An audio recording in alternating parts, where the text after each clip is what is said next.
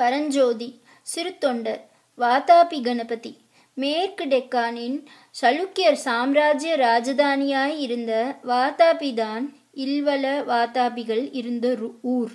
அங்கேயும் ஒரு கணபதி இருந்தார். விக்கிரக ரூபத்தில் வாதாபியில் இருந்ததால் அவரும் ஒரு வாதாபி கணபதி.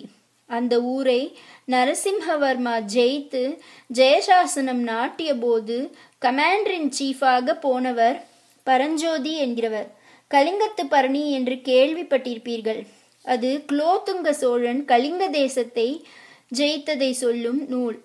குலோத்துங்கன் ஜெயித்ததாக சொன்னாலும் வாஸ்தவத்தில் வெற்றிக்கு காரண புருஷனாக இருந்தது அவனுடைய சேனாதிபதியாக இருந்த கருணாகர தொண்டைமான் தான் அந்த மாதிரி நரசிம்மவர்மாவின் வர்மாவின் வாதாபி வெற்றிக்கு அவனுடைய சேனாதிபதியான பரஞ்சோதியும் காரணமாய் இருந்தார் அவர் கணபதீஸ்வரம் என்ற சிவாலயம் உள்ள திருச்செங்காட்டாங்குடியை சேர்ந்தவர்.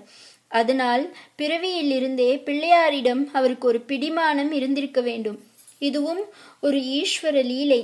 அவரே ஜெயசாலியாக வாதாபியை ஜெயித்து அங்கே உள்ள பொன் மணி யானை குதிரை எல்லாவற்றையும் கவர்ந்து கொண்டு ஊர்வலம் வருகிற போது அங்கே வாதாபி கணபதியை பார்த்தார்.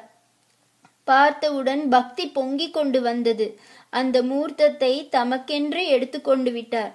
அசோகருக்கு நடந்த மாதிரி சித்தே முன்னே சற்று முன் சொன்னபடி சலுக்கிய விக்ரமாதித்தனுக்கு நடந்த மாதிரி பரஞ்சோதி வாழ்க்கையிலேயும் இதை தொடர்ந்தாற்போல் அவர் பல்லவ ராஜ்யத்திற்கு திரும்பிய பிறகு ஒரு பெரிய மாறுதல் நடந்துவிட்டது.